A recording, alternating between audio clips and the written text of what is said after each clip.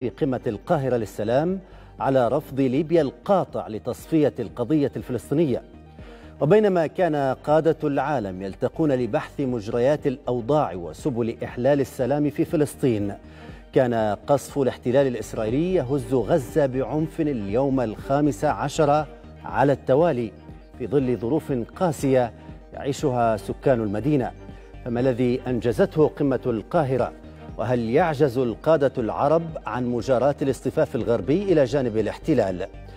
نناقش هذه الأسئلة وغيرها مع ضيوفنا في حوارية الليلة عبر الأقمار الاصطناعية من مصراتة المحلل السياسي فيصل الشريف وأيضا عبر الأقمار الاصطناعية من مصراتة المحامي فتحي تربل. وسيكون معنا عبر الأقمار الاصطناعية من واشنطن أستاذ العلوم السياسية نبيل ميخائيل. أرحب بكم جميعا ضيوفنا الأكارم. وأبدأ معك سيد فيصل الشريف قبل الحديث عن ما انتهت إليه قمة القاهرة. كيف يمكن أن نقيم مجريات هذه القمة وفق الأطراف التي حضرت اجتماعاتها وأيضا مستويات التمثيل؟ مساء الخير سيد خالد لك ولضيفيك ومشاهديك الأكارم.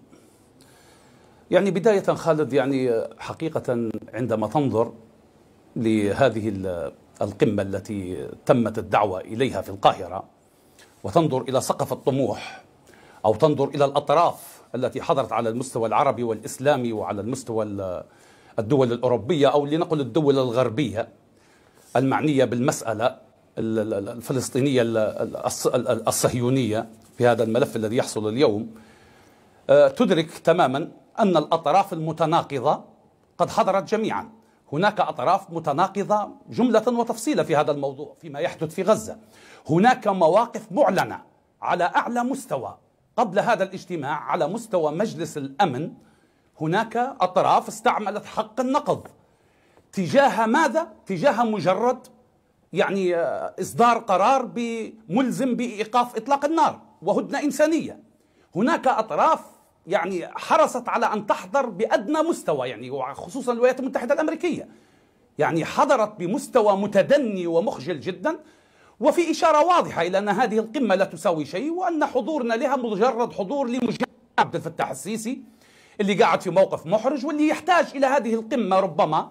ليس لأنه يدرك تماما أنه لن يخرج عنها شيء ولكن هو بحاجة إلى ترميم موقفه تجاه تصريحاته التي أطلقها في السابق وخصوصا التصريح الشهير برفقة المستشار الألماني والذي قال فيه أن يمكن لإسرائيل أن تنقل الفلسطينيين إلى صحراء النقب بينما تصفي حركات المقاومة ثم ترجعهم إن شاءت. فأنت أمام يعني مواقف معلنة قبل حتى حضور هذه الأطراف على المستوى العربي أو الإسلامي أو على المستوى يعني الدولي سواء في على مستوى الاتحاد الأوروبي أو على مستوى الولايات المتحدة الأمريكية وبريطانيا. هناك مواقف معلنة وعلى أعلى مستوى وبالتالي لم نكن ننتظر أي شيء سيخرج عن قمة يعقدها العرب اللي للأسف يعني حتى حتى حتى شيء خرجوا بالهواء. لم يخرجوا بأي شيء. يعني حتى بماء ماء وجههم أريق. لم يخرجوا بشيء. بيان لم يتفقوا عليه. خرجوا ببيان. هذا البيان على مستوى الرئاسة المصرية.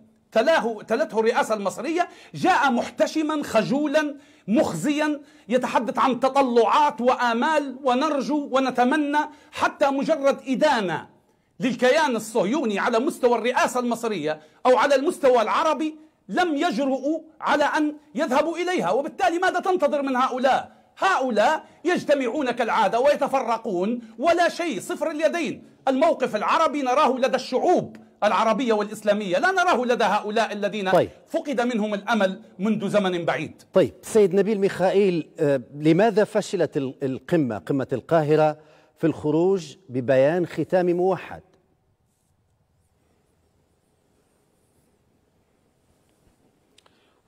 تحية لحضرتك وللسادة المشاهدين وللضيفان العزيزان وطبعا نرسل التحية للشعب الصامد الشعب الفلسطيني في غزة. الدبلوماسية العربية يعني لا يجب أن ننتقدها بأسلوب لاذع لأن برضو هناك بعض النجاح تحقق أن هناك إجماع عربي على ضرورة إنقاذ غزة. وهم كمان يعني قدموا غصن الزيتون لأن إسرائيل عاوزة تقوم بحملة عسكرية. فلا يمكن يعني إلقاء اللوم على أي طرف عربي على أنه سبب الحرب. إسرائيل هي التي تريد أن تشن حرب. وفي الحقيقة العرب في موقف أفضل كتير من عما كانوا عليه في مواجهات مع إسرائيل. يعني هنا في أمريكا أثناء ذهابي للاستوديو هناك مظاهرات ضخمة أمام البيت الأبيض تنصر القضية الفلسطينية. هناك شبه إجماع من المواطنين الأمريكيون من أصل أسود أو أصل إفريقي بضرورة مساندة غزة. هناك أيضا العديد من كبار المفكرين ورجال الإعلام زي تاكر كارلسون زي جاج بوليتانو زي بعض الأشخاص الأقل شهرة اللي بيحذروا إسرائيل من غزو غزة. فأعتقد أن القمة العربية يمكن استثمارها في خلق إجماع عربي وأعتقد إنها تستطيع فعلا إنها تحشد عدد كبير من الدول في تأييد القضية العربية وأمريكا معزولة وإسرائيل أكثر انعزالية. آه وأنا لا أعتقد أن الهجوم العسكري الإسرائيلي سينجح. لن تكون مثل عملية عنتيبي في أوغندا عندما قام قوات الكوماندوز الإسرائيلية بتحرير عدد من الرهائن. طيب في هذه الحالة في سيد نبيل ميخائيل في هذه الحالة مليون و300 ألف. في هذه الحالة لماذا فشلت قمة القاهرة في الخروج ببيان ختامي موحد؟ معلش ما جراش حاجة يعني برضه نعذرهم يعني على أساس إن هو في باختلاف في المواقف الخاصة بالدول العربية تجاه القضية الفلسطينية بصفة عامة وتجاه ما يحدث من غزة لكن أعتقد أن يعني في ما هي الظروف ما هي طبيعة هذه الاختلافات ما فيش سيد نبيل؟ داعي لإقامة الخلافات العربية البعض طبعا عاوز تطبيع مع إسرائيل البعض مش عاوز آه، يعني إن القضية الفلسطينية تشغله عن قضايا بلاده آه، مش ما فيش هناك إجماع عربي على رفض توطين الغزاويين في أي موقع آخر لكن أعتقد آه، أمرين. آه، عدم الإجماع العربي على القضية الفلسطينية إن بعض الدول بتفضل مصالحها على القضية الفلسطينية، ثانيا عدد من الدول الاخرى لا تريد قطع علاقات علاقاتها مع إسرائيل إسرائيل أو حتى يعني آه، المضي في التطبيع. يعني حتى الدول اللي عايزة تطبع هتستنى شوية تنتظر بعض الشيء وربما قطار التطبيع تلحق به لكن في ظل الظروف الصعبة الدرامية الحادثة هناك تأييد كافي لغزة دعنا نستثمره من أجل مصلحة طيب سنأتي لهذه. النقطة سيد نبيل ميخائيل. ابق, ابقى معي. سيد فتحي تربل إ- إذا كان السبب عدم إم- إم- إمكانية الخروج ببيان ختامي موحد لقمة القاهرة هو تباين المواقف العربية تحديدا تجاه ما يجري من من عدوان للأسبوع الثاني على التوالي. في تقديرك على الأقل على الأقل لماذا لم تتناسب مخرجات هذه القمة مع الحجم غير المسبوق للعدوان على غزة؟ بسم الله الرحمن الرحيم والصلاة والسلام على أشرف الأنبياء والمرسلين سيدنا محمد وعلى آله وصحبه أجمعين. في البداية اسمح لي أخي الكريم أن أحييك وأحيي ضيوفك الكرام وكل متابعي قناة ليبيا الأحرار كما أتوجه بالتعازي لكل الضحايا الشهداء والقتلى في آه، غزة وفي آه، كل مناطق فلسطين المحتلة. أنا في تصوري آه، أن جزء من السؤال قد أجاب ولو بطريقة غير مباشرة ضيفك السيد نبيل ميخائيل عندما قال لك أن هناك أنظمة لازالت لديها يعني رغبة في المضي قدما فيما يعرف بالتطبيع مع الكيان الصهيوني. وهذه ربما تكون نصف الإجابة. إذا الذين اجتمعوا اليوم هم ليسوا على قلب رجل واحد ويحملون أجندات مختلفة وأهداف مختلفة. وبالتالي عندما قد نتفهم هذا سيد فتحي تربل قد نتفهم ذلك فيما لو أن القمة خرجت ببيان ختامي غير غير موحد بيان ختامي يحمل على الأقل خطوط عريضة. لكن عدم الخروج من الأساس ببيان ختامي موحد لا يفسر فقط تباين وجهات النظر لدى بعض الدول التي شاركت في القمة. أنا دعني أكمل لك الإجابة. أنا أنا لما أقول لك بأن هناك بعض الأنظمة متصهنة بشكل واضح وإن كان يريد أن يعني يصرح بهذا اللفظ ضيفك ولكن هك- هكذا الحقيقة وهكذا الأمور تسمى بمسمياتها. وبالتالي من غير المعقول لن تجد إمكانية لأن تجتمع هذه الأنظمة ولو على سطر واحد.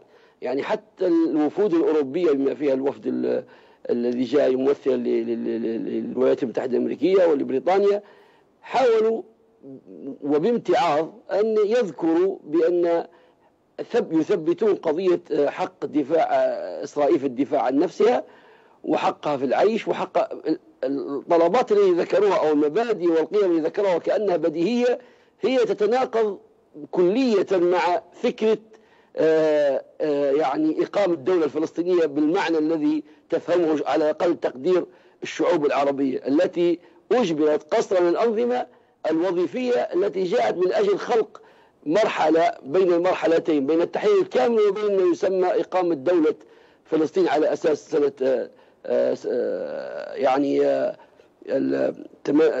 76 والله راحت حدود 67 تقصد 67 حل الدولتين. آه، فالأساس هناك أجندات مختلفة واختلاف كبير لا يمكن الجمع بين بين من يصف هذه الدولة الإسرائيلية وبين من يصف الكيان المحتل المغتصب. يعني كل هذه الاعتبارات تجد من الصعوبة وتتحدث على ما يسمى بالحد الأدنى. حتى الحد الأدنى ظهر بشكل مخجل. يعني الآن تتحدث على أناس كل المنظمات حتى المستقلة تتحدث على كارثة محدقة بها الغزة.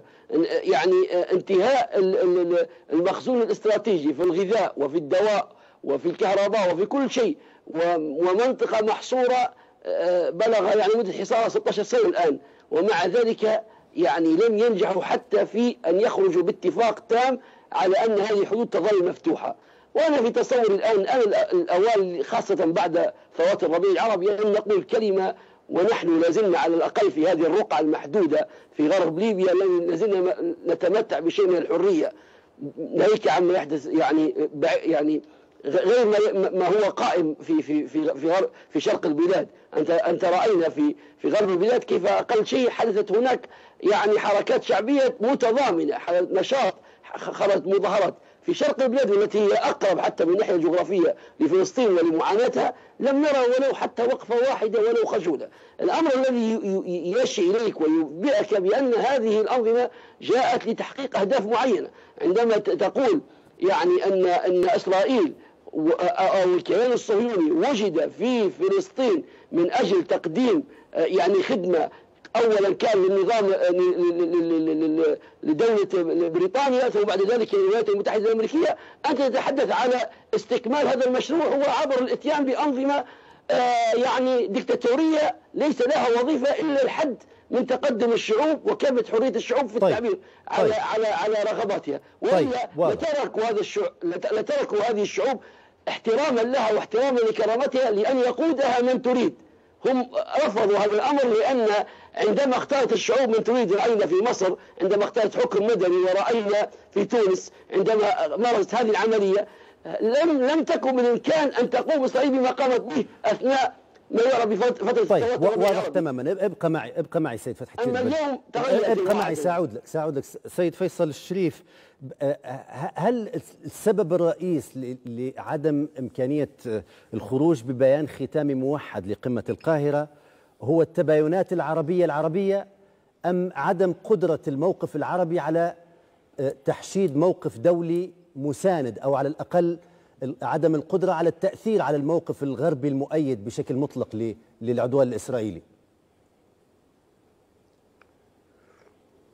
لا شوف بشكل بشكل أكيد ولا لبس فيه هو أن الموقف العربي العربي أساسا منقسم على نفسه في كل القضايا وعلى رأسها القضية الفلسطينية خاصة بعد يعني كرنفال التطبيع الذي انتقل كالعدوى يعني مثل السرطان من من من دولة إلى دولة.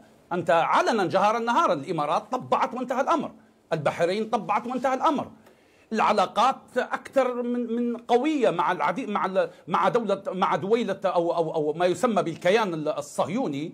أصبحت هناك سفارات مفتوحة وتحمى هذه السفارات وهناك تمثيل دبلوماسي وهناك تعامل اقتصادي قوي جدا على مستوى العربي وعلى مستوى الإسلامي. وتمكنت أمريكا من ان من أن تنجز هذه المهام كلها لأنها تريد آه، يعني ان أن تعيش إسرائيل إلى حد كبير. وتتمدد داخل هذا هذا يعني داخل هذه هذه الجغرافيا التي تعتبر هي غريبة عنها ولكن استطاعت بتطويع هذه الأنظمة. ويعني تمكنت من من أن تجعل من هذه الأنظمة مجرد يعني أتباع لها تأمرهم فيطيعون، أما الشعوب فلقد رأينا أن الشعوب في واد والأنظمة في واد آخر، والشعوب لا زالت حية ولا زال ضميرها ووجدانها حي ولا زالت بالفعل تؤمن بأن هذه القضية هي القضية الأم، لكن يا خالد اليوم لا نستطيع أن نقول أن والله الموقف فقط هو عربي عربي حتى ولو كانوا سمنه على عسل. العرب في بعضهم لن يخرجوا بموقف متحد تجاه القضية الفلسطينية لأن هناك دول يخشونها ويخافون منها ويخافون من زعلها وغضبها. يعني هل ترى أنت اليوم حتى الموقف الأوروبي ويهرول رؤساء وزراء أنت شفت الطريقة المهينة اللي نتنياهو استقبل بها رئيس وزراء بريطانيا بطريقة مهينة جدا الصحافة ركزت عليها. ومع ذلك ذهب صاغرا إلى نتنياهو مباشرة. جاء بايدن إلى نتنياهو. آه، وزير وزير خارجية إيطاليا انتقلت من القمة وذهبت آه، فيما يقال أنها اتجهت إلى إسرائيل. الكل يجب أن يهرول هناك حتى يأخذ الرضا الأمريكي. الولايات المتحدة الأمريكية زعلانة. محركة اثنين حاملات طيران. تخيل لمن؟ لغزة المحاصرة. محركة زوز حاملات طيران. خايفة والله حزب الله يطلق ثلاث صواريخ. ولا خايفة إيران ممكن تطلق صاروخ ولا زوز. يعني تخيل لأن لأنها مست في ولاية من ولاياتها. من يقود هذه الحرب ويجهز للحرب البرية التي يريد أن يقودها؟ هي الولايات المتحدة الأمريكية. طيب. هي واشنطن. هي من تعد العدة لأن الصهاينة أجبن من أن يقوموا جربوا في السابق وأجبن من أن يقوموا بهكذا دور لوحدهم. وبالتالي جاءت الأم. جاءت الأم المتبنية وجاء العم سام لكي يقوم بهذا الدور وهو يدرك تماما. واضح أنه تماما. لن يكون أي ردة فعل من هؤلاء دول الجوار وخاصة يا خالد أنت تتحدث عن رئيس دولة نعتبرها الدولة الأم يعني حاشا شعبها لأن نتحدث عن عندما نتحدث عن الشعب المصري فهو شعب حي. لكن نتحدث عن هذا النظام الاستبدادي. عبد الفتاح السيسي إلى جانب المستشار الألماني يقول والله يستطيع الصهاينة أن يأخذوا طيب الغزاويين أنت إلى أشرت إلى نقطة مهمة سيد يعني فيصل الشريف اسمح لي أن ننتقل بها للسيد نبيل ميخائيل. سيد نبيل يعني هذه السطوة وحجم التأثير الإسرائيلي على القرار الغربي واضحة لا تحتاج حتى ربما النقاش. هل يملك القادة العرب القدرة على التأثير في الموقف الغربي حتى ولو بنسبة من, من, من هذا المستوى الذي تملكه إسرائيل؟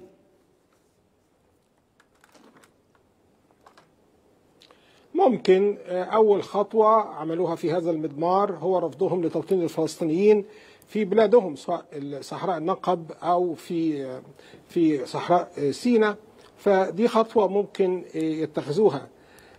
تاني حاجة ان هم ممكن يصفوا خلافتهم يعني مثلا ممكن الحروب للأسف شهدتها ليبيا اليمن الصراع الجزائري المغربي بالإضافة إلى الحروب أو التوترات في سوريا والعراق ممكن تنتهي لو في حد من الإجماع. يعني أدنى مستوى من الإجماع ما بين العرب على تصفية خلافاتهم لأن هذه الخلافات تؤدي إلى استقطاب المشهد العربي ما بين طرف موالي لواشنطن وطرف مثلا موالي لإيران. أعتقد أن بسبب الأحداث في غزة التصالح أو التوافق أو الوفاق الإيراني مع دول الخليج سيستمر. يعني في مشاورات حتى أجريت ما بين السعودية وإيران بطريقة مباشرة وعلى أعلى المستويات. فستقلق واشنطن في هذا وإحنا بقى مستنيين موقف روسيا. يعني أنا لا أعول كثيرا على موقف الصين لأن الصين عملاق اقتصادي لكن قزم عسكري. لكن ما هو ما هو يعني الرئيس بايدن وجه خطاب من أقل من 48 ساعة للأمة الأمريكية وقال في اثنين أعداء ليا بوتين وتنظيم حماس. طيب يعني أنت سويت بوتين وحماس. طب ما هو وجه الشبه بينهما وما هي الأرض المشتركة التي تجمع بين حركة حماس في غزة وقائد الكريملين بوتين. هذا مستوى آخر من الموضوع. سيد نبيل اعذرني المقاطعة. ولكن أنا كنت أتساءل معك عن عن مدى قدرة القادة العرب على امتلاك الفعل والتأثير في اتجاه القرار الغربي بالتوازي مع ما تملكه إسرائيل من سطوة على صناعة هذا هذا القرار اليوم. والسيد فيصل الشريف قبل قليل كان يتحدث عن مستوى الدعم الذي تتلقاه إسرائيل من من دول غربية عدة. لماذا لن نجد أي مستوى من مستويات التأثير في القرار الغربي لدى القادة العرب؟ لأن طبعا أمريكا منحازة لإسرائيل لا شك في هذا لكن يعني الموضوع له جوانب مختلفة. يعني مثلا هنا الشغل الشاغل في أمريكا أن إذا كانت إيران هتدخل الحرب مؤيدة لحماس.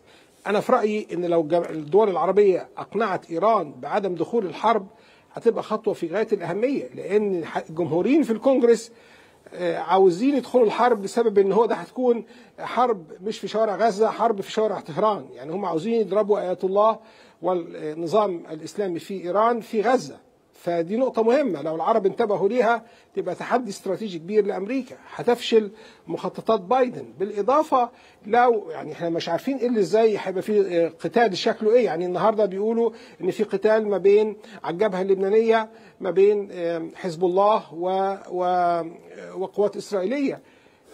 ف يعني يمكن يبقى في جبهة جديدة. ما هو طبعا ده هيأثر على هيبقى انعكاس لمدى تأثير العرب على القرار السياسي والعسكري الأمريكي. مش عارفين تطورات القتال هتحصل إيه. يعني في هجمات تقال على مواقع أمريكية عسكرية في سوريا وفي العراق وفي اليمن. طب ما ده تأثير الدول العربية على أمريكا. هل ستستمر؟ أنا أعتقد آه لأن إسرائيل هتغزو غزة وهيبقى في رد عسكري وجماهيري عربي قوي قد يشمل استهداف قواعد عسكرية وأفراد أمريكيين عسكريين في دول تتواجد فيها أمريكا عسكريا. طيب سيد فتحي تربل هل يجب أن ننتظر حتى تتوسع رقعة الصراع أكثر من من مستوى غزة أو فلسطين المحتلة حتى نرى قدرة للقادة العرب على التأثير في موقف دول غربية أو في موقف واشنطن؟ أنا في تصوري يا أستاذ خالد واسمح لي في ربما تراه يعني يعني غير متسق مع ما تطرحه ولكن هذا الذي أقوله.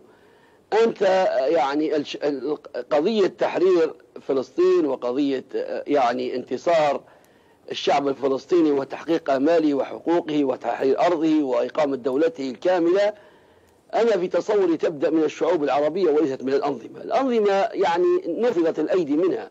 لم يعد هناك أمل في تصوري. وما يسمى بعملية السلام التي الآن يعني تجاوزت العقود.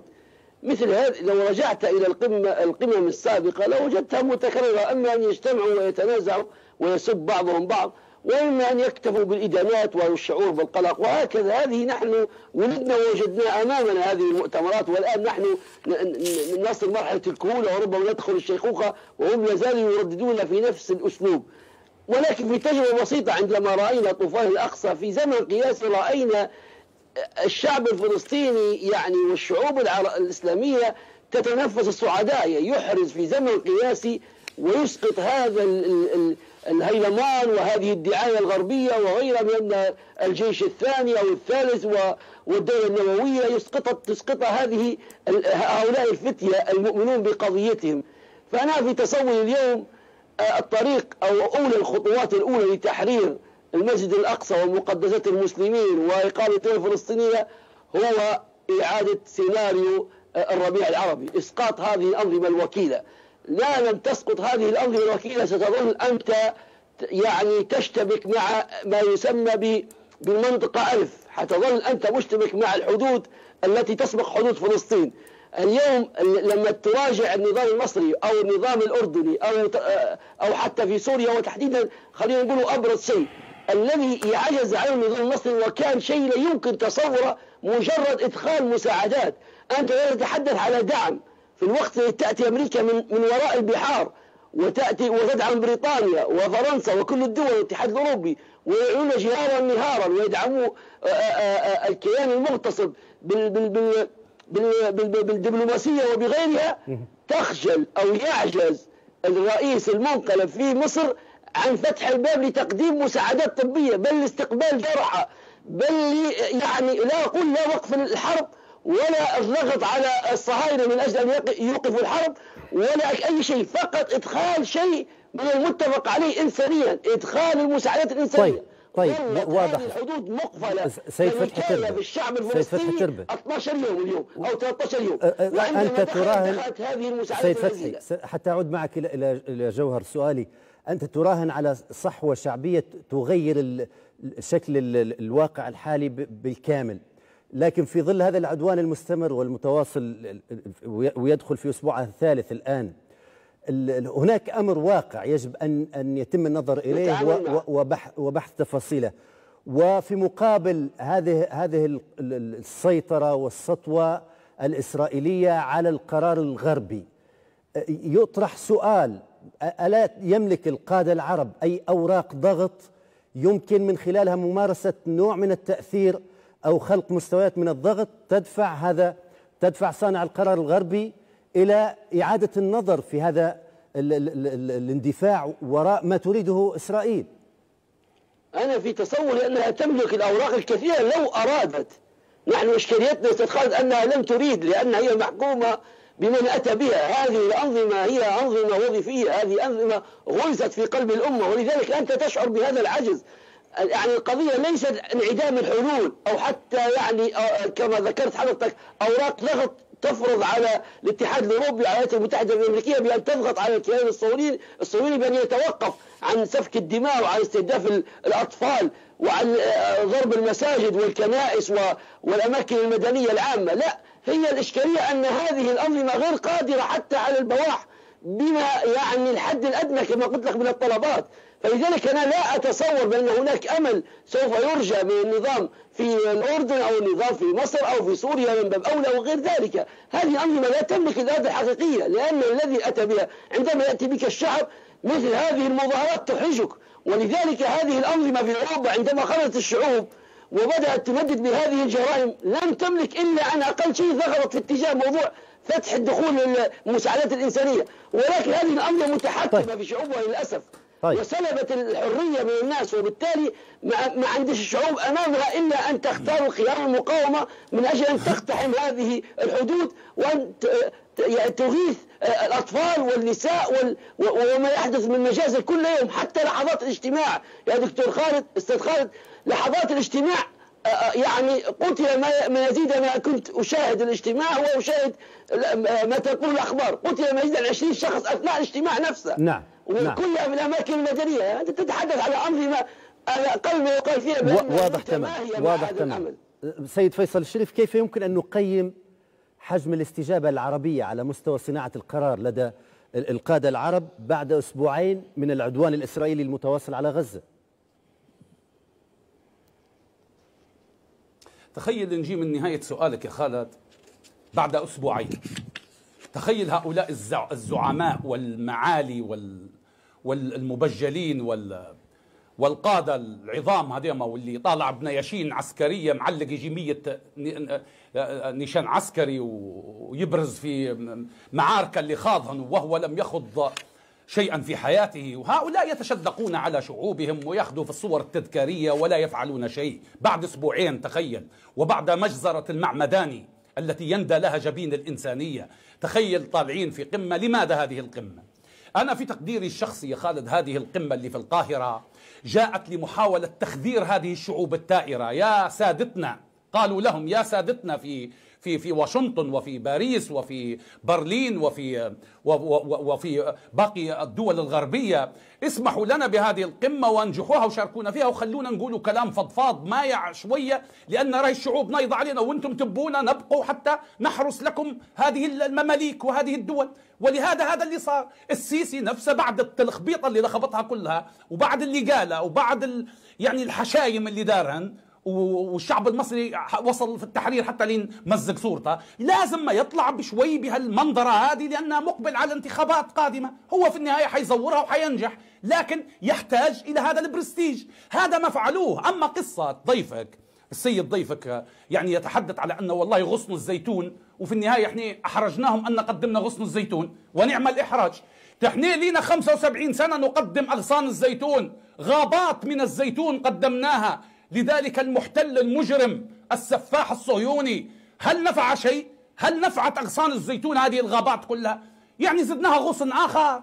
الذي يحدث لا يمكن اليوم إلا أن تكون هناك مواقف حقيقية على مستوى الشعوب العربية التي يجب ألا تهدأ بعد اليوم.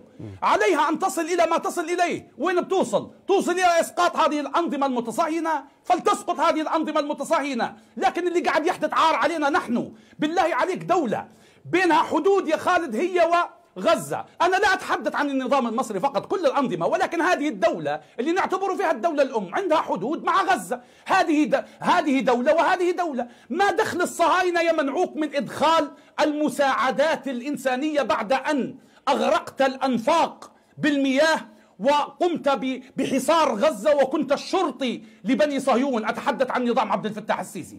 هذا الواقع. نريد أن نجمل هذا القبح. ممكن والله نجمله نقولوا والله غصن الزيتون. وهم إن شاء الله غير يقنعوا إيران أنها ما تخشش. فلتدخل إيران وليدخل حزب الله ولتدخل كلها ولا عدل إلا إن تعادلت القوى وتصادم الإرهاب بالإرهاب. بعد اليوم وبعد مجزرة المعمداني لا مجال للعواطف وأغصان الزيتون والكلام الجميل ويعني ويلا طبطب علي ونطبطب عليك. لا ما عادش يمشي. هؤلاء لا يفهمون إلا القوة. الله سبحانه وتعالى قال وأعدوا لهم ما استطعتم من قوة. مش من شجب واستنكار وغصن زيتون. هذا هو الواقع. هؤلاء جاءوا بالقوة وبالقتل وبالدمار ولم يحترموا الإنسانية. لا قانون دولي إنساني ولا قانون دولي لحقوق الإنسان ولا اتفاقيات جنيف ولا غيرها. عندما كان يحصل آه، مثل هذا في في أوكرانيا الغرب كان على ساق واحدة وكان يبكي وكانت وسائل إعلامه تتضامن مع أوكرانيا. وكان كل شيء يحصل أمامنا. اليوم العين العوراء هي التي تحصل, تحصل تجاه غزة. ما يحصل في طيب. غزة لا يعتبرونهم بشر أصلا. في, في ظل وعلى إسرائيل أن تفعل ما تريد فعله اسمح لي سيد فيصل. سيد نبيل ميخائيل في, في ظل هذا الوضع الوضع التعامل بازدواجية المعايير إذا نظرنا للمواقف الغربية تجاه ما يحصل في أوكرانيا وأيضا المواقف الغربية تجاه ما يحصل في فلسطين المحتلة.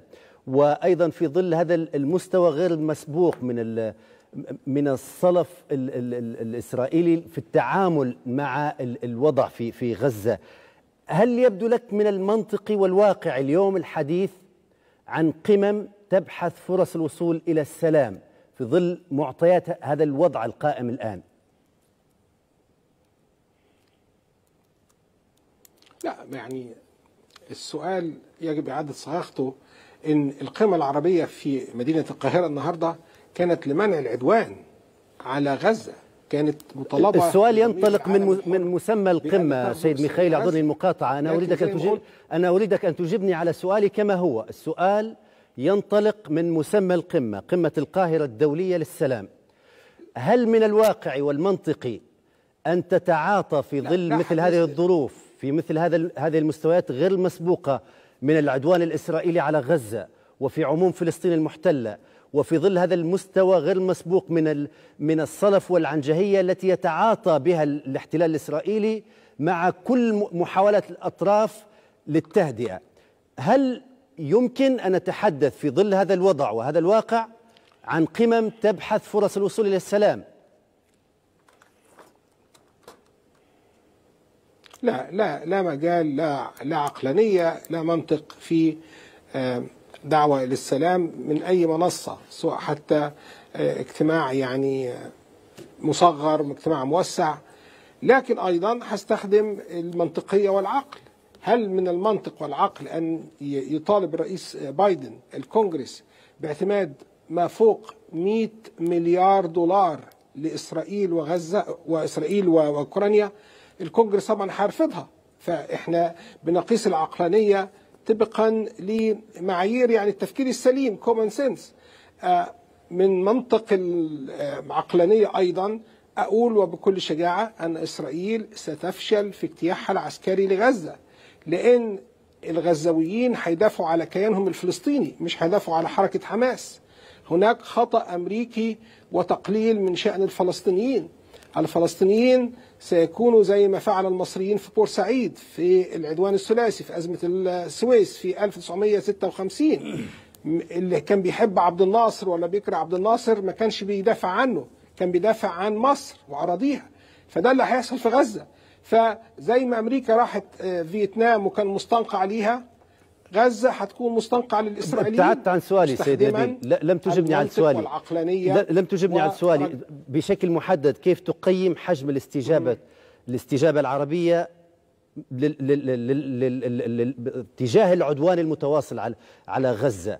هل الاستجابة المناسبة لما يجري طيلة الأيام الماضية من من عمليات عسكرية يشنها العدوان الإسرائيلي على قطاع غزة؟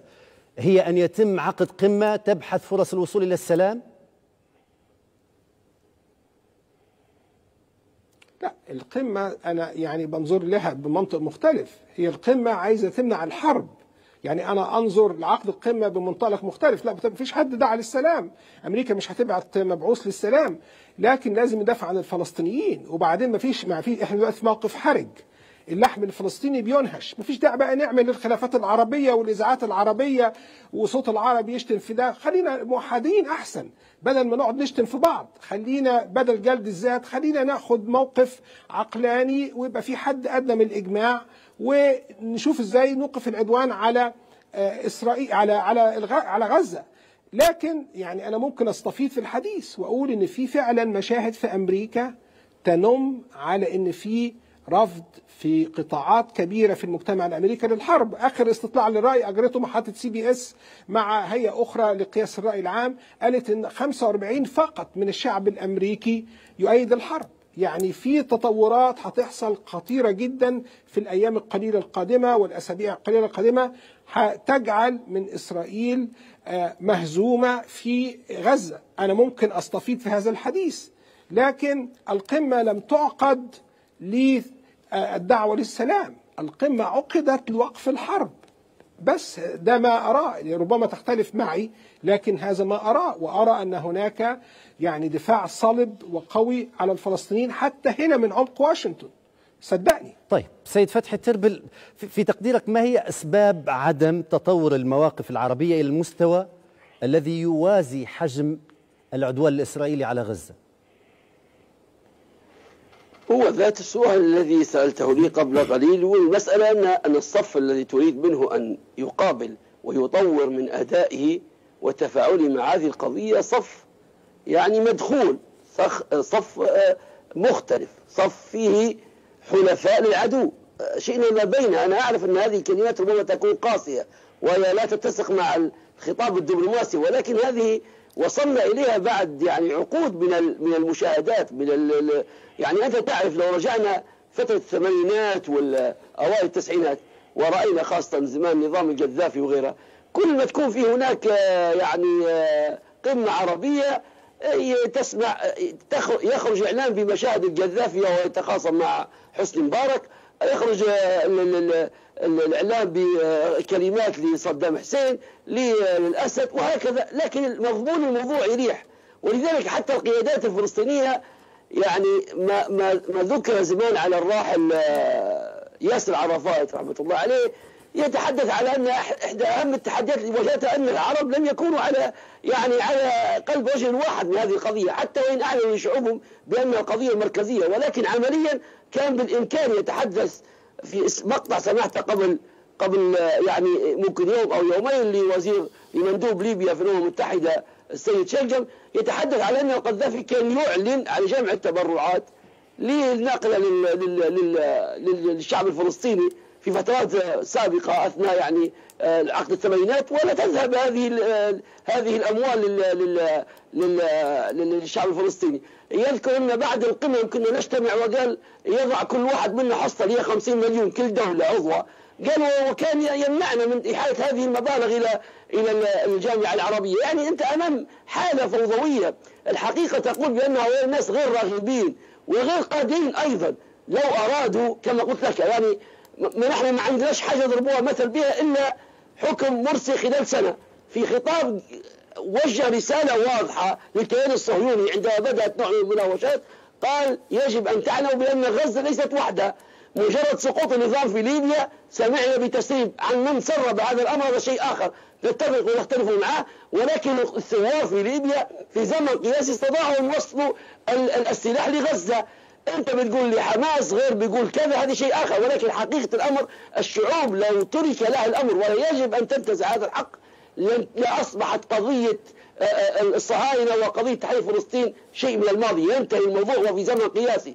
الشعب الكيان الصهيوني يعني بقدر ما يملك من تكنولوجيا وبقدر ما يملك من تسليح متفوق إلا أن نقاط الضعف وبذور الفناء يحمله في هذا الكيان. وبالتالي لا حل سيأتي عبر هذه الأصنام الإسلام الحكام الحل الحقيقي يجب أن يأتي من الشعوب العربية وتحديدا في مقدمتها الشعب المصري. يجب أن يكون رأس الحربة في هذا الأمر. هذا الذي أراه وهذا الذي يعني أتصوره والشعور كلها وراء الشعب المصري بإذن الله لو استطاع أن يقتلع هذا الصنم الوظيفي الذي لم يأتي إلا فقط لمنع هذه الانفجارات التي من شأنها سوف تحرق الأخضر واليابس سيد فتحي تربل في النهاية حتى حتى مع عدم الرضا على على المواقف العربية تجاه هذا العدوان المستمر.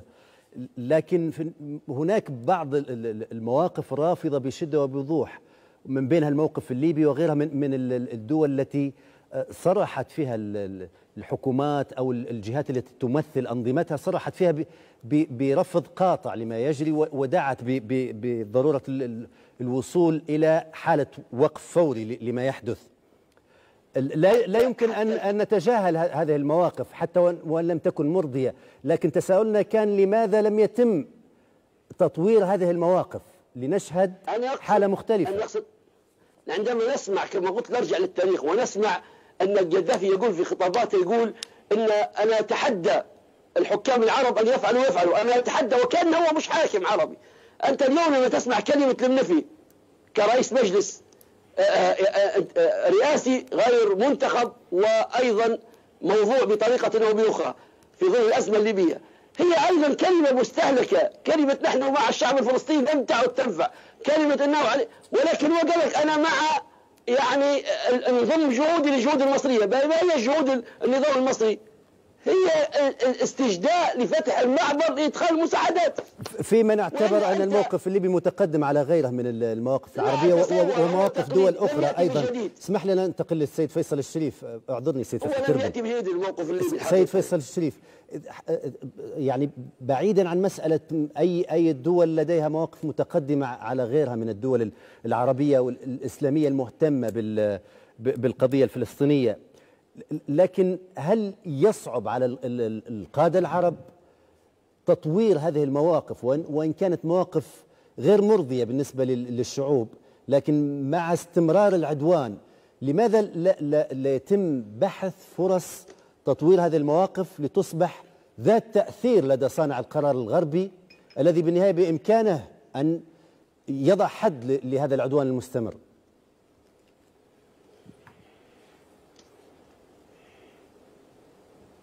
سيد فيصل الشريف. حتى على على التاريخ السابق. للأسف لم أستمع لحديثك من البداية. ربما بعض المواقف. سيد فيصل. آه نعم خالد تسمعني؟ نعم الآن في الاستماع. تسمعني خالد؟ نعم خالد.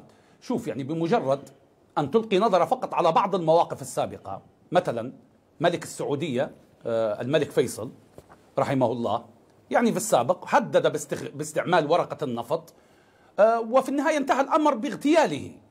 يعني أنت اليوم عندما تتحدث عن الخليج العربي ودول شمال أفريقيا وتتحدث عن الدول الإسلامية لو أن هناك بالفعل قيادات حقيقية يعني ملتزمة فعلا بقضاياها تستطيع على أن تلعب بالورقة الاقتصادية عن طريق النفط والغاز. تستطيع أن أيضا أن تهدد بالورقة العسكرية لكن ليس لديك رجال يقودون هذه الأمة للأسف هذه الأمة التي أصبحت غثاء السيل. وإلا أنت تتحدث عن أسلحة وعتاد وطيران حربي مخزن يستعمل لقمع الشعوب ولضرب بعضهم البعض. انظروا للسعودية ماذا فعلت في في اليمن. وانظر إلى الطيران والسلاح هي والإمارات وغيرها وماذا فعلوا في باقي الدول العربية. هؤلاء مسلطون علينا. للأسف هؤلاء سيوف مسلطة على شعوبها وعلى الدول العربية والإسلامية. لكنهم خدمة لهذا الكيان الغاصب.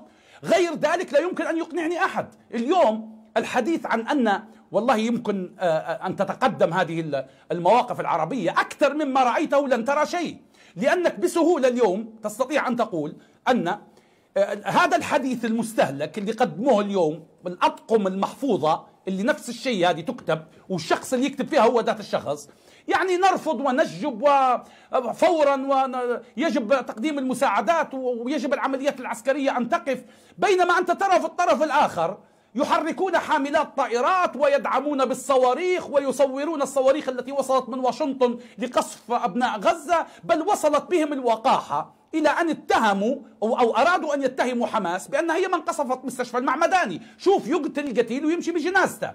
اليوم يجب أن نقولها بصراحة. على رأسنا تاج على رأسنا حماس والجهاد الإسلامي وكتائب الأقصى وكل فصائل المقاومة التي تقاتل ذلك العدو الصهيوني القاتل المجرم حتى تسترد أراضيها وتسترد مقدساتنا ومقدساتها لأن للأسف باقي الأمة نائمة في العسل. ويجب أن نقولها بصراحة. الإعلام يا خالد الإعلام الذي هو سلاح ذو حدين. سلاح الإعلام استطاع أن يحرك الشعوب حتى على مستوى الدول الغربية. رأينا إعلامهم رغم أن البي بي سي وفوكس نيوز و... والجارديان وغيرها رغم أنهم عملوا بكل قوة على دعم إسرائيل ومحاولة فبركة وإنتاج يعني مسرحيات سمجة كاذبة وروجوا أن والله حماس قتلت وقطعت الرؤوس وغيرها وتبنى الرواية بايدن نفسه و و ثم عاد البيت الأبيض و و وتنصل منها. هذا كله يعطيك انطباع أن الإعلام الإعلام الغربي يحرك هؤلاء ويحاول من خلاله التأثير على شعوبهم هم يخشون من شعوبهم لأن لديهم إلى حد كبير ديمقراطية. أما نحن فلا يخافون منا ولا يخافون من الشعوب لأنهم يدركون جيدا أنهم سيفوزون في الجولة القادمة وب 99% وبالتالي ما ماذا يساوي هذا الشعب؟ فليتر اليوم وسيهدأ غدا. هذه نظرتهم إلينا.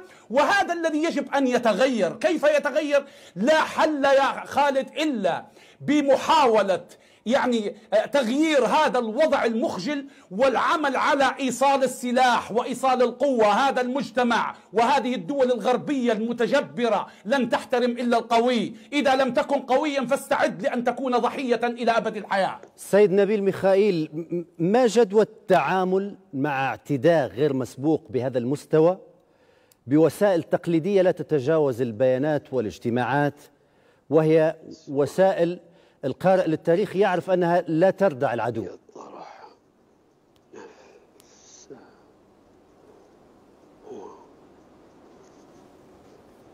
قصوا آليات كثيرة يعني مثلا في اتفاقيه اسمها اتفاقية الدفاع العربي المشترك لكن لن نسمع عن قيادة عربية مشتركة للجيوش. فالوحدة العربية شعارات أكثر ما هي ما تطبيق يعني الوحدة الأوروبية اتحاد اقتصادي. ما فيش حتى اتحاد اقتصادي ما بين الدول العربية. في انقسامات خطيرة في السودان في ليبيا في اليمن في العراق في سوريا بين الفلسطينيين نفسهم. فدعنا نستعمل الآليات الحالية ونشوف إذا كانت هتكون قنوات ناجحة أم لا. العالم بيتغير وأيضا آه، العالم العربي بيتغير. آه، لكن التركيز حاليا يجب أن يكون على أولوية استراتيجية استراتيجيك priority. إفشال حرب إسرائيل في غزة. يعني أنا في رأيي إن هي زي حرب 67 لو فشلت إسرائيل فيها هتبقى إنقاذ للعرب لأن العالم كله هينتقد إسرائيل بما فيها ناس في أمريكا. يعني في عندك ترامب بينتقد بيمدح حزب الله. مش هقول إن ترامب هيجامل حزب الله لا لكن في ناس بتقول ليس لنا مصلحة في حرب في غزة.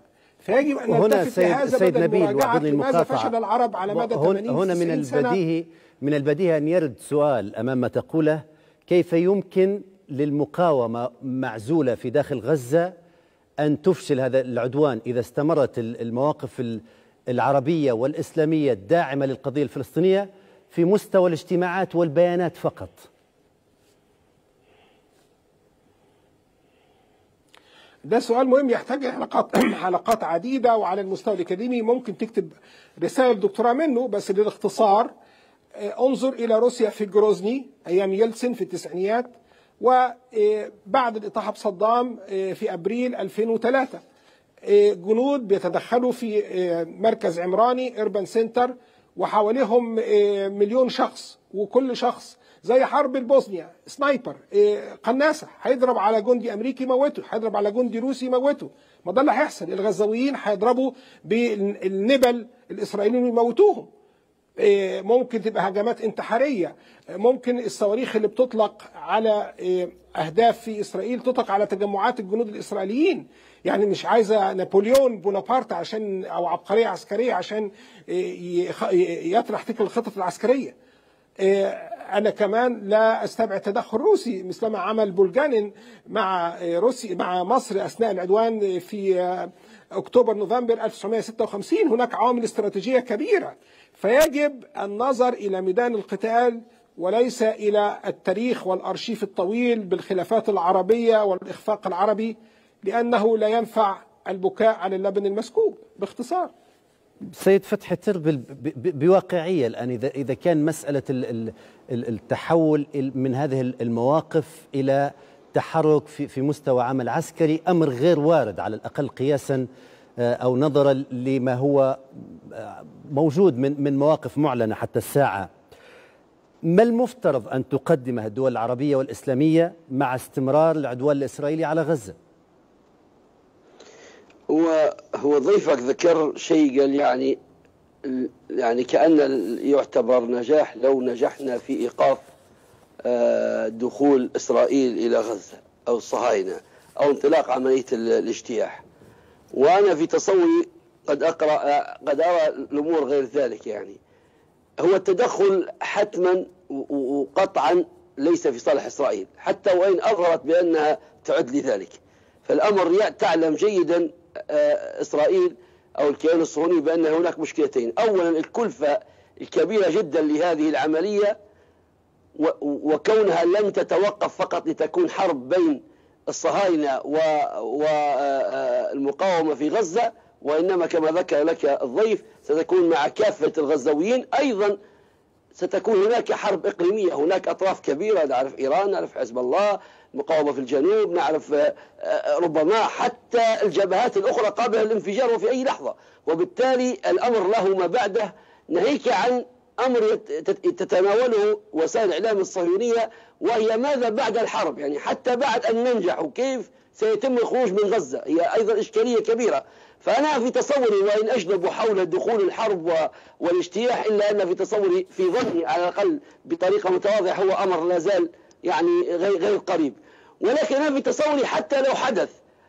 أنا أرى بأنه ربما ستكون فيه مصلحة أيضا وصورة أوضح لأن هذه خلال الأسبوعين رأينا كيف تداعت الأقنعة وسقطت الأقنعة على عوج- على وجوه كثير من الجهات. الاتحاد الأوروبي ظهر بمشهده الحقيقي الإعلام العالمي ظهر بوضعه الحقيقي المنحاز الدول العربية ظهرت بأنها عاجزة وشديدة العجز عبر هذه القمة وقبلها. لأن المجتمع عجز عن إدخال مساعدات لغزة مجرد يعني مواد طبية مجرد ال- الوصول إلى حل لفتح تدفقات المياه والكهرباء وغيرها. فأنت أمام أحداث كل يوم يكشف لك من هي الورقة القوية وهل هي مسيرة السلام كما يسمى وعملية السلام هي القادرة على جلب الحقوق للفلسطينيين أو المقاومة رغم كلفتها ولكن مع ذلك اللي قادرة فأعود أقول لك المدخل الحقيقي في تصوري ما زلت أراهن على هذا الشعب. وربما إذا ازدادت يعني وحمي الوطيس وازدادت كلفة هذه الضريبة هذه الحرب وهذا العدوان ربما ستأتي اللحظة التي تنفجر فيها الشعوب وتتقدم نحو حكامها العملاء لتسقطهم وتنطلق مباشرة إلى هدفها. قد يكون هذا مشهد دراماتيكي وغير متصور أو حتى خيال يعني درامي. ولكن هذه هذا المتوقع. أنا تصوري في أكثر من مرة عندما يقوم الصهاينة بخوض حرب سواء في مع مع مع حزب الله في جنوب لبنان أو مع حماس فيما سبق وفصائل المقاومة الأخرى من تهرول لوقف الحرب دائما إسرائيل عبر وسطاء آخرين. هي التي غير قادرة على الاستمرار. ولذلك الآن أما في الإعلام ال- ال- الصهيوني ال- ال- المنقول يتحدث على أن نحن سنخوض هذه الحرب وبعد ذلك نفكر كيف نخرج من من من, هذه المنطقة اللي يعتبروها هي موبوءة بالنسبة لهم.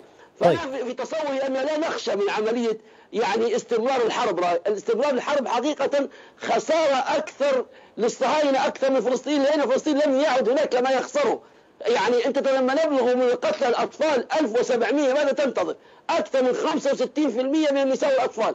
يعني ما عادش عند إسرائيل الصهاينة والكيان المحتل إلا قتل المدنيين. ولكن الضرب الحقيقي للمقاومة إلى الآن المقاومة تسجل تقدما أكثر بالنظر إلى الإمكانيات وإلى زمام المبادرة وإلى التحكم في مجريات المعركة. إلى هذه اللحظة تسجل شكرا لك. شكرا لك. المقاومة. وصلنا لختام هذه الحلقة. أشكرك ضيفنا من مصرة المحامي فتحي تربل. أيضا الشكر لضيفنا من واشنطن أستاذ العلوم السياسية نبيل ميخائيل ولضيفنا من مصرة المحلل السياسي فيصل الشريف. شكرا جزيلا لكم جميعا والشكر في الختام موصول لكم أنتم السادة المشاهدين. في أمان الله.